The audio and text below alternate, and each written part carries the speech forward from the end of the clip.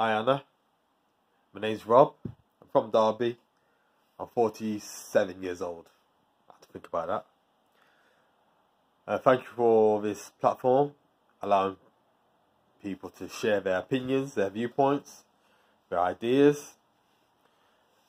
Um, again, thank you for the platform because just like you, you're frustrated with mainstream media. I'm frustrated with mainstream media. It seems like they will never ever allow counter narrative to go to be broadcast. And there is a counter narrative, and when you go online, you can hear many voices from virologists, immunologists, epidemiologists, a lot that have a counter narrative that just basically destroys what's being perpetuated on mainstream media. Now, I like to put things into perspective. So, in regards to COVID 19, when I will sometimes debate with people, I like to help them put things into perspective because what's happened with the mainstream media, they've caused a lot of fear. They've caused a lot of fear in people. So, what I usually say to people is uh, I talk about the percentages and the stats. Now, they say 100% that have been tested positive of COVID 19, 80% are asymptomatic, which means that they're healthy. Now, the World Health Organization, I think her name was Maria Van Kerk, I can't remember, she said that asymptomatic people do not spread the virus. The next day, she came out and gave a lot of incoherent gibberish, trying to backtrack on what she said. But basically, asymptomatic people do not spread the virus. That's what she said.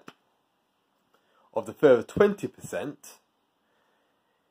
99 of those who show symptoms, that is, 99.75% of those recover. Most of those recover from being isolated at home or medication.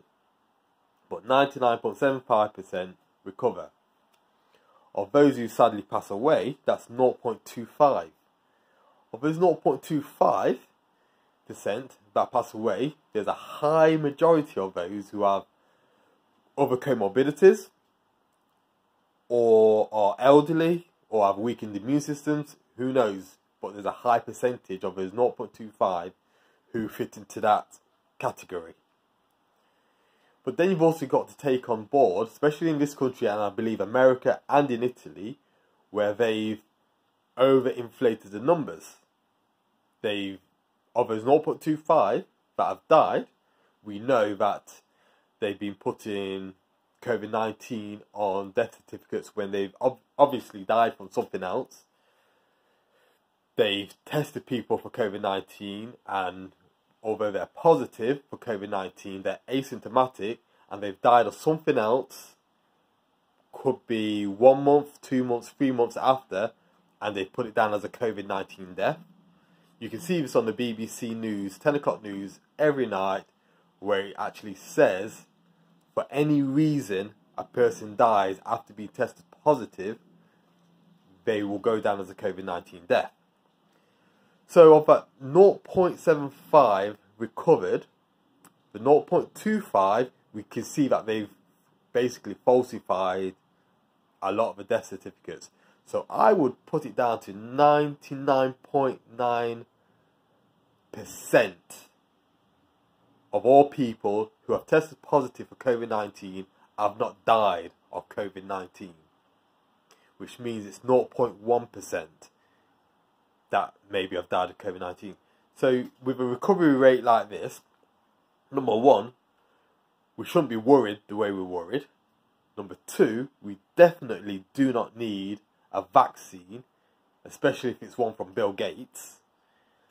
And number three, we need to be getting out and socializing as normal and getting things back to normal and not this new normal which I consider is uh, abnormal.